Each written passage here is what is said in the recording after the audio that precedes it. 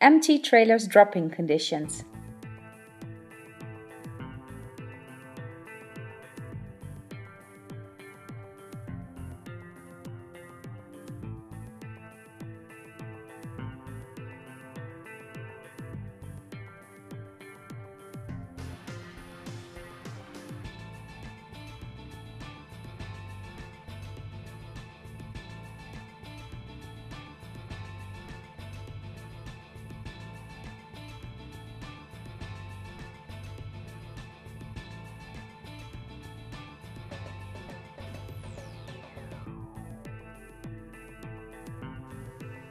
For trailers with fixed straps, always make sure straps are rolled up and put on the side of the floor or between the curtain and the side rail.